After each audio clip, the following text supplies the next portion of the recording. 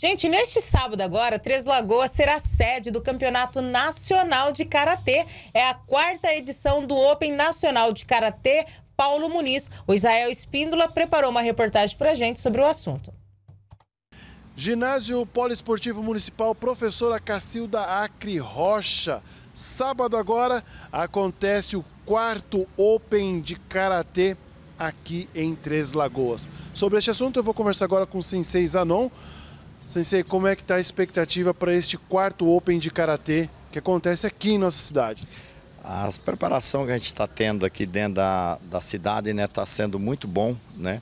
Nós estamos recebendo o apoio assim, da Sejuvel, da Secretaria de Esporte da Juventude, né, de Lazer, e também de alguns patrocinadores do município. A gente só tem que agradecer e a gente está bastante esperançoso assim que vem atletas de várias regiões de estados diferentes, né?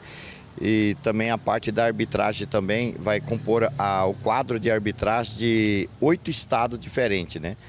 E a expectativa nossa aqui é para que a gente atinja assim bem próximo de mil inscrições dessa competição.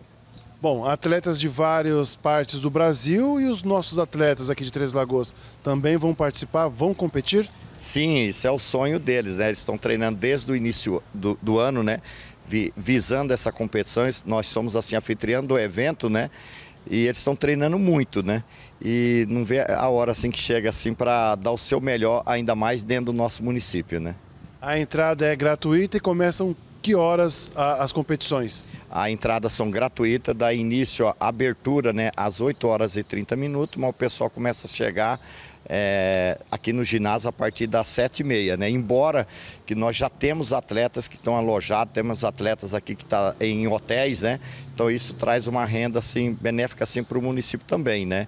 E a abertura está marcada para as 8h30 da manhã, o, e, e, o evento em si ele vai começar às 9 da manhã e a previsão de término da competição em torno mais ou menos das 18 horas.